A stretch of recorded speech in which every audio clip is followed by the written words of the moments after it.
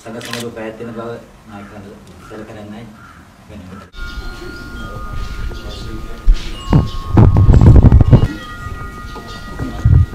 රට තීරණාත්මක ජනාධිපතිවරණයකට සූදානම් වෙන වෙලාවක් ශ්‍රී ලංකාවට 9 වෙනි ජනාධිපතිවරයා තෝරා ගැනීම සඳහා වන ජනාධිපතිවරණය මේ වෙනකොට කැඳවලා තිබෙනවා මැතිවරණ දෙපාර්තමේන්තුව.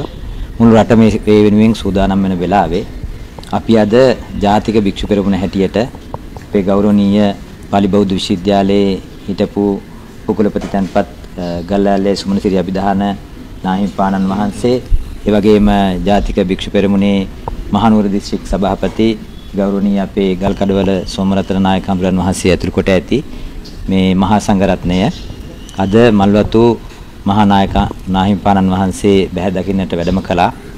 විශේෂයෙන්ම අපි ජාතික භික්ෂු පෙරමුණ ජාතික ජනබලවේගයේ සංවිධාන 22 අතර සිටින භික්ෂු සංවිධානයක්.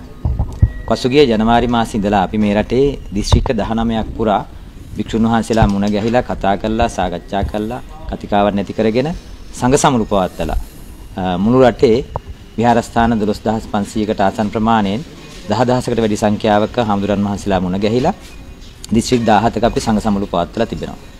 ඒ සංඝ සමුළු මාලාව අමාර කරන්න අපි බලාපොරොත්තු වෙනවා මේ මාසේ 23 වෙනිදා මහරගම තරුණ සේවා සභාවේ අති විශාල සංඝ සමුළුවක් පවත්වලා සංඝ රුවනේ මහ පෙළහර නමින් ජාතික පුනරුදයට මග කියන සංගරුවනේ මහ පෙළහර කියන තේමාව යටතේ මහා සංඝ සමුළුවක් අපි පවත්වන්න සූදානම් වෙනවා.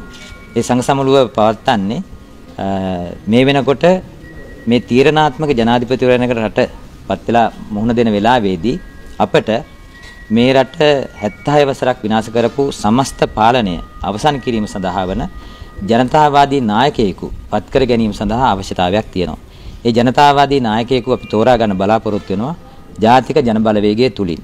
ජාතික ජනබලවේගයේ නායක අනුර දිසානායක මැතිතුමන්ගේ ජයග්‍රහණයට මහා සංගරුවනේ සෙත් වැඩීම සඳහා මේ ජයග්‍රහණය නියත ජයග්‍රහණයක්.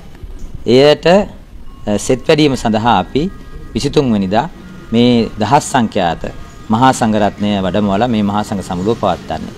ඒ බව අද මල්වතු අස්කිරි පාර්ශවවල මහානායක හඳුරන් වහන්සේලා ඇතුළු අනිකුත් මහානායක හඳුරන් වහන්සේලාටත් සියම් අමරපුර නිකායන්හි මහානායක හඳුරන් වහන්සේලාටත් අද දවසේ අපි මේ විදිහට සැලකලා ඒ මහා සංඝ සමුළුව සඳහා අපි ආරාධනා කරන ආරාධනාපත් අපේ මහානායක හඳුරන් වහන්සේලාටත් අපි පිළිගන්වන්නට යෙදුණා.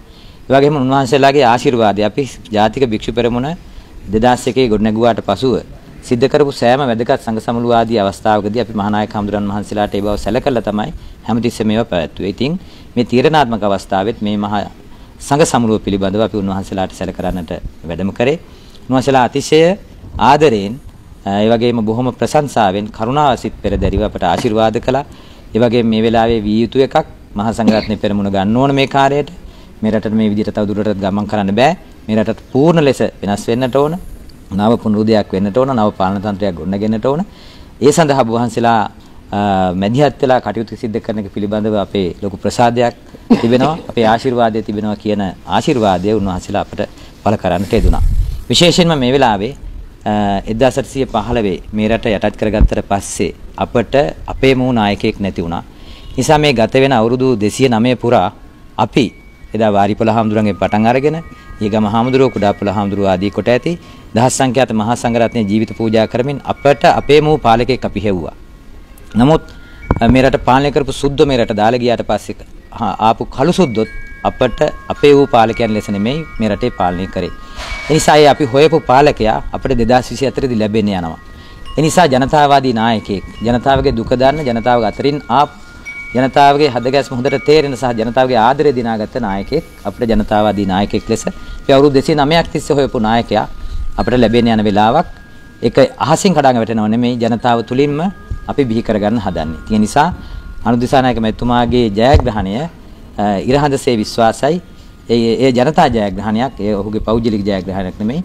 නිසා ඒ එය මේ රට ඉල්ලා සිටපු අවුරුදු 2009ක් තිස්සේ ලේ කඳුළු දහඩිය මතින් අපේක්ෂා ඇතුව ආපු ගමන් මාර්ගක පූර්ණ ප්‍රතිඵලයක් ලබා ගන්න අවස්ථාවක්. ඒ නිසා නව පුනරුදයකට රට ගෙනියන්න හදන අවස්ථාවක් හැටියට අපි දකිනවා එතුමාගේ සම්ප්‍රාප්තිය ජනාධිපති ජයග්‍රහණය.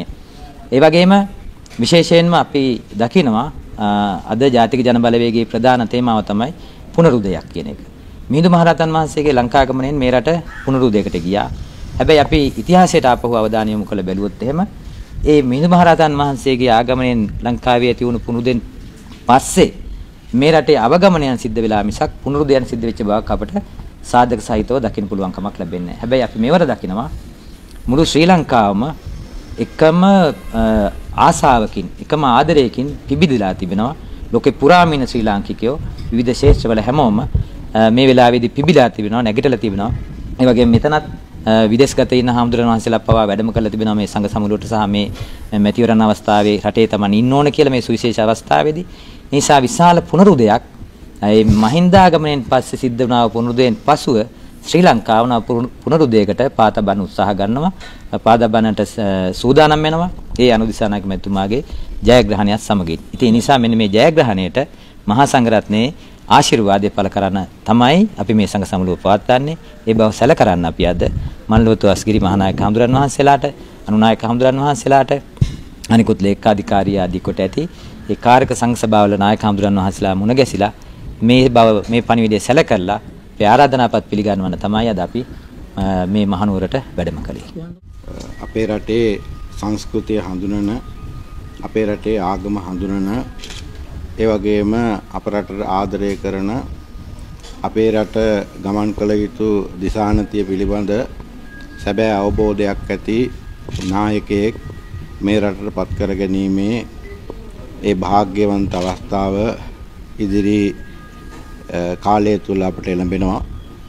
මේ වෙනකොට ලංකාවේ සිව් දිසාවේම වැඩ සිටින මහා සංඝරත්නය පමණක් නොවේ.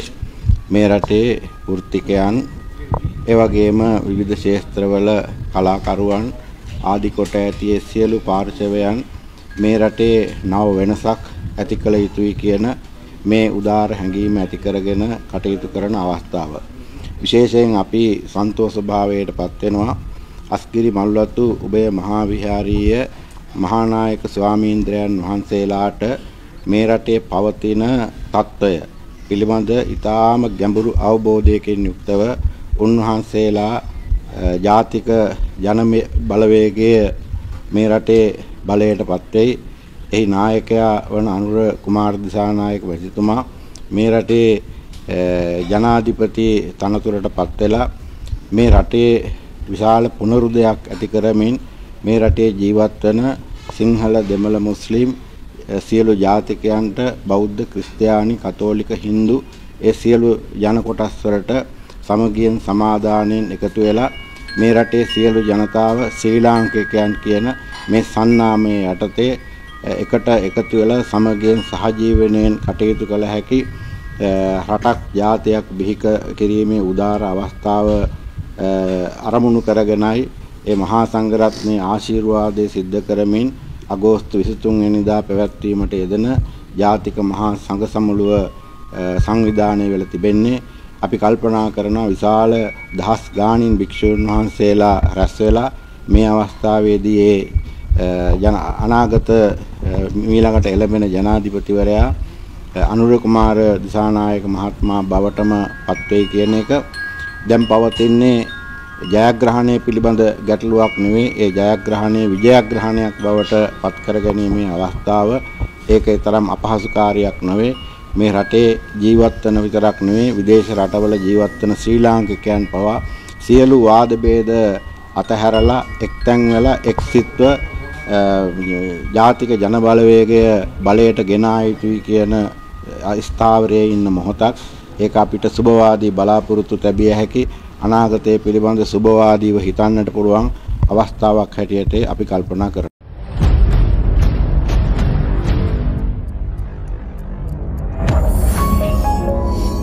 watching the Life Traveler channel.